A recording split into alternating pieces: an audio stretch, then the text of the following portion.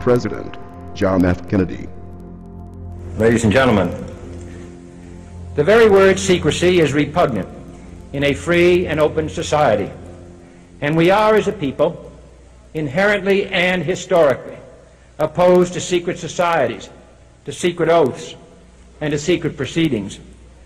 We decided long ago that the dangers of excessive and unwarranted concealment of pertinent facts far outweighed the dangers which are cited to justify it.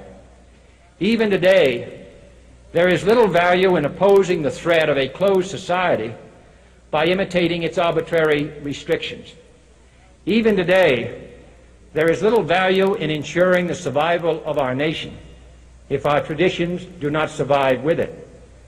And there is very grave danger that an announced need for increased security will be seized upon by those anxious to expand its meaning to the very limits of official censorship and concealment. That I do not intend to permit to the extent that it's in my control. And no official of my administration, whether his rank is high or low, civilian or military, should interpret my words here tonight as an excuse to censor the news, to stifle dissent, to cover up our mistakes, or to withhold from the press and the public the facts they deserve to know. For we are opposed around the world by a monolithic and ruthless conspiracy that relies primarily on covert means for expanding its sphere of influence, on infiltration instead of invasion, on subversion instead of elections, on intimidation instead of free choice, on guerrillas by night instead of armies by day. It is a system which has conscripted vast human and material resources into the building of a tightly knit, highly efficient machine that combines military, diplomatic, intelligence, economic, scientific, and political operations. Its preparations are concealed, not published. Its mistakes are buried, not headlined. Its dissenters are silenced, not praised.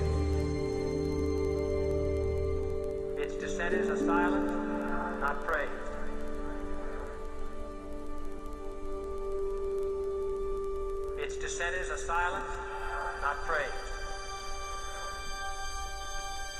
Its dissenters are silenced, not praised. Its dissenters are silenced, not praised. Its dissenters are silenced, not praised. No expenditure is questioned, no rumor is printed, no secret is revealed. No president should fear public scrutiny of his program, for from that scrutiny comes understanding, and from that understanding comes support or opposition, and both are necessary. I am not asking your newspapers to support an administration, but I am asking your help in the tremendous task of informing and alerting the American people. For I have complete confidence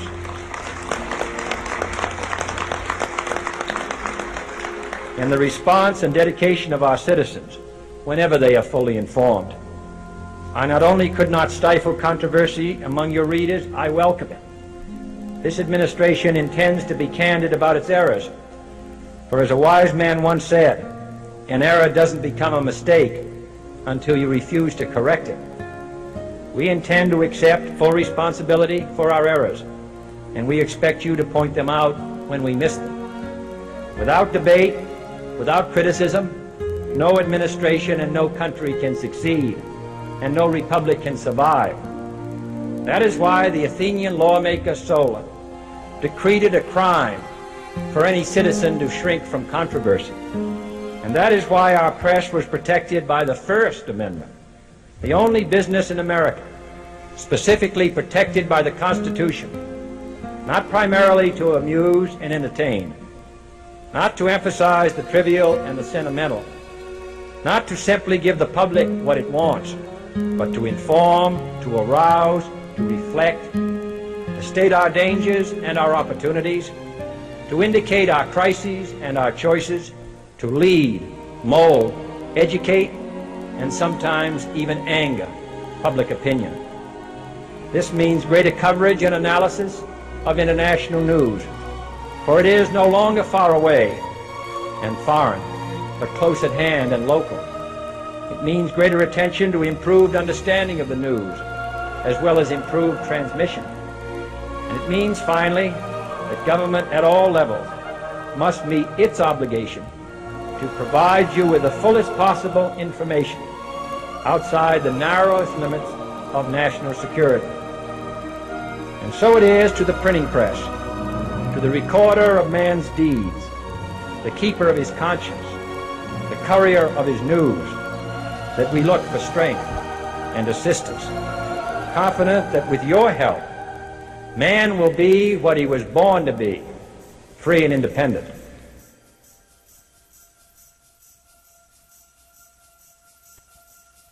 You were both in Skull and Bones, the secret society. It's so secret we can't talk about it. What does that mean for America? The conspiracy theorists are going to go I'm sure they are. I don't know. I haven't seen the web. Number 322. I don't, You both were members of Skull and Bones, a secret society at Yale. What does that tell us? Uh, not much because it's a secret.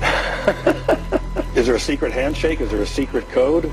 I wish there were something secret I could manifest. 322, a secret number? Uh, there are all kinds of secrets, Tim, but one thing is not a secret. I disagree with this president's direction that he's taking the country. We can do a better job, and I intend to do it. And we'll be watching. Be safe on the campaign trail. John Kerry, thanks sir. for joining us. And we'll be right back. It's good to be back at the Council on Foreign Relations. As uh, Pete mentioned, I've been a member for a long time and was actually a director for some period of time. I never mentioned that when I was campaigning for re-election back home in Wyoming.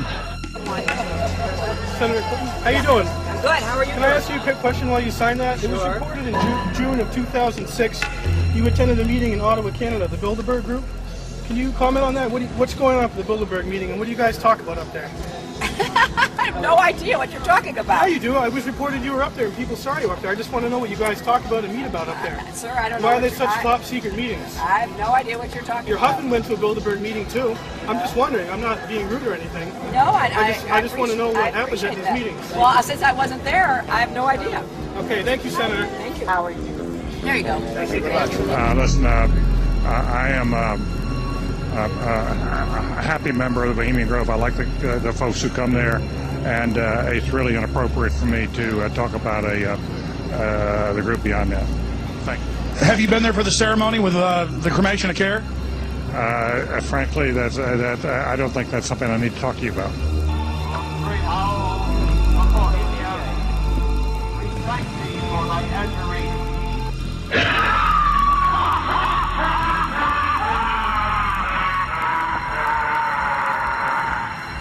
Have you been there for the ceremony with uh, the cremation of care? Uh, frankly, that's, uh, that uh, I don't think that's something I need to talk to you about. Really? That's right. Well, I'm Alex Jones, and I snuck in there in 2000. I'm the guy that blew it wide open and got the video. It's been on national TV. Well, I disrespect you for that. You do? I do. But there's a lot of big public officials going in there. You Don't we deserve to know? You took an, I don't know anything about you, and I don't know anything about your film. But if you go in there with an understanding, you violated that understanding by releasing that film, and I don't respect you for that. Really? But You, you, I'm sorry, you took an understanding when you went in there that you would not do that film. And you did, did you have an understanding when you went in there? No. Did you crash it? Yes. Yeah, and it has no trespassing signs there too, doesn't it? No, they put Yes. those after. Oh, I'm I sorry. I'm sorry, sir. I've been there before. I know what, I know what the circumstances are, and I'm sorry you uh, violated the understandings. That was not that was not a gentlemanly thing to do. But what about the ritual? Is the ritual genuinely?